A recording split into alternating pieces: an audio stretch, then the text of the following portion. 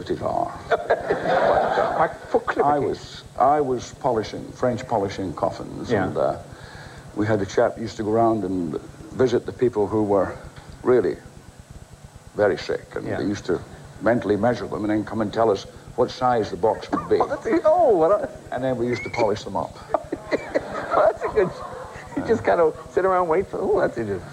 Now, what what's the worst job you ever had? Was that? Um, I don't really think. Uh, I think all work is honourable up Yeah. to a point. Yeah, yeah. yeah. and uh, started rather early, and uh, I find that I'm. I don't have to work, and I do, which is more pleasurable than um, when I had to work. Yeah, yeah. Well, sure, Yeah. sure. Now, I also read. Now, see, there's a lot of. You're one of these guys. There's a lot of rumors about you. What we call urban legends in this country. You don't know if they're true or not. That you have a, a bunch of tattoos. Is this true? Yes. Oh, you do? Okay. Now, now, what what do they say? Did they say anything, or are they pictures?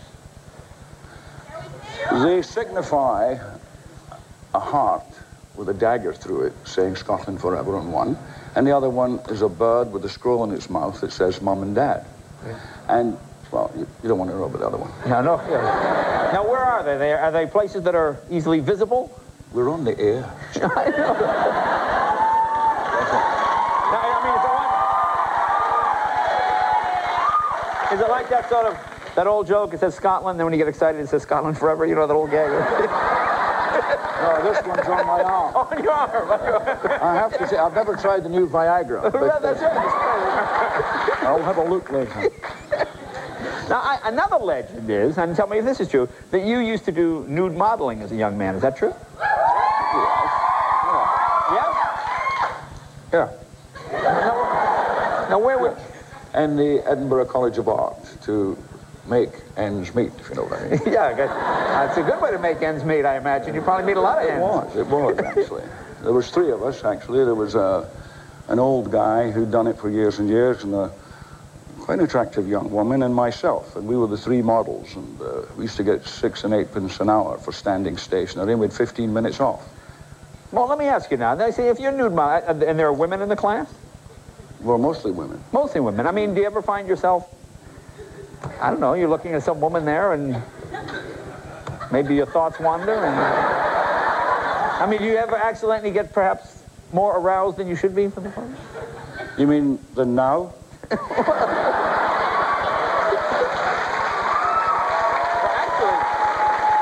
oh, did that ever did that ever happen to you? Is, excuse me, I have to leave for a few minutes. Oh, okay, go ahead. No, no, not me. No, it um, it had it had the effect on others, I think, but Yeah. not on me. Yeah, yeah. Now we have one of those photos. We call Edinburgh. This is one. Now you, now you are uh, quite a, a hairy guy. And uh, well, as you can see from this photo, here, you see this quite a quite a hairy guy.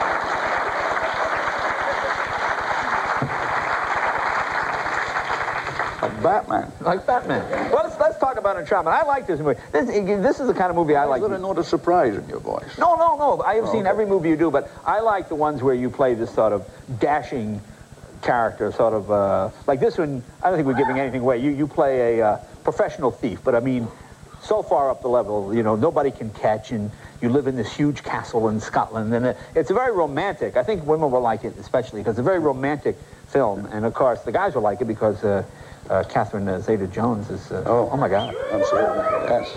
Yeah. I mean, there's that one scene where she's crawling. I didn't notice. You didn't notice. Well, let's show let's show people a clip. Does this need a setup? What scene are we going to see here? Do you know which one? Uh, no, I, I think it's to do with the helicopter. And what's happened is that she has come to London to. It's an opening scene where obviously I've cracked some crime, and uh, she's come by the insurance company to entrap me. Right, right. And uh, a few twists have happened, and uh, she's been um, surprised. And she doesn't quite understand where I'm taking her now. Right, right. What's- Just preceding going to Scotland. Well, a great cat and mouse game between you two here. Take, take a look. Here's a scene from Entrapment.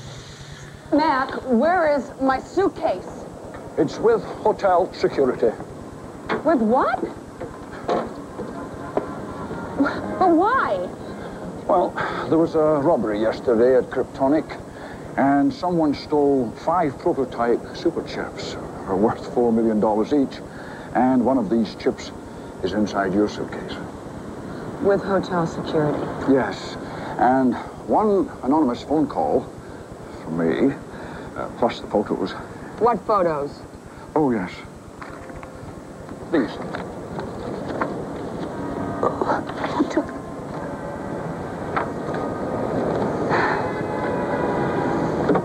Hey! This is entrapment. What? I said this is called entrapment. No, actually, it's called blackmail. Entrapment is what cops do thieves.